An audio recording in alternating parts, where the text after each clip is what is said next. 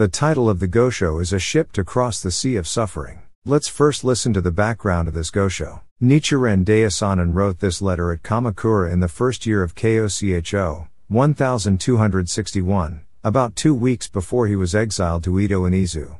Virtually nothing is known about the recipient, Shiiji Shiro, other than that he lived in the province of Suruga and was acquainted with two of the Daishonin's leading disciples, Shijo Kingo and Toki Jonin. The title of this letter is drawn from a passage in the Medicine King chapter of the Lotus Sutra that speaks of a ship in which to cross the water.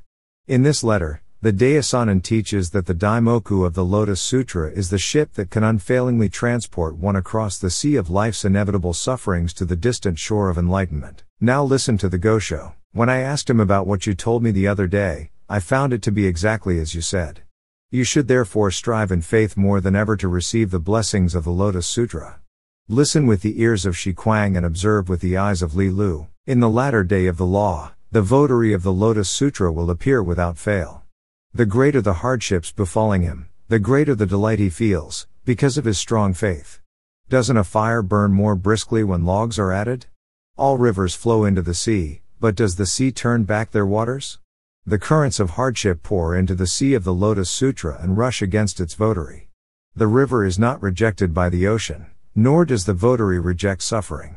Were it not for the flowing rivers, there would be no sea. Likewise, Without tribulation there would be no votary of the Lotus Sutra. As Tian Tai stated, the various rivers flow into the sea, and logs make a fire burn more briskly. You should realize that it is because of a profound karmic relationship from the past that you can teach others even a sentence or phrase of the Lotus Sutra. The sutra reads, Nor will they hear the correct law, such people are difficult to save.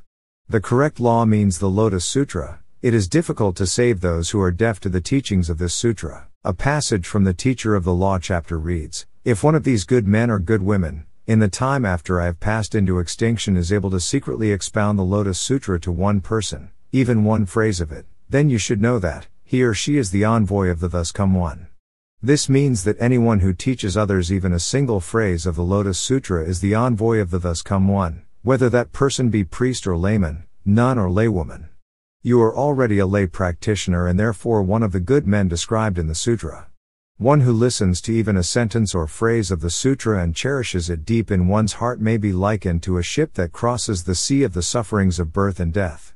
The great teacher Miao Lo stated, even a single phrase cherished deep in one's heart will without fail help one reach the opposite shore. To ponder one phrase and practice it is to exercise navigation. Only the ship of Myoho Renge Kyo enables one to cross the sea of the sufferings of birth and death. The Lotus Sutra speaks of someone finding a ship in which to cross the water.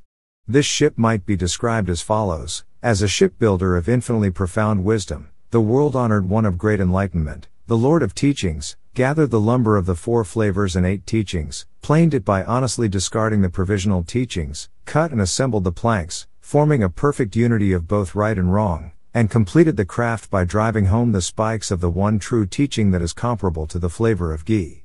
Thus he launched the ship upon the sea of the sufferings of birth and death.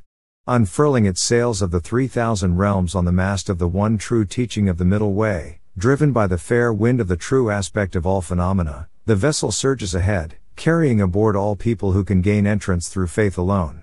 The thus come one Shakyamuni is at the helm, the thus come one many treasures takes up the mooring rope, and the four bodhisattvas led by superior practices row quickly, matching one another as perfectly as a box and its lid. This is the ship in a ship in which to cross the water. Those who are able to board it are the disciples and lay supporters of Nichiren.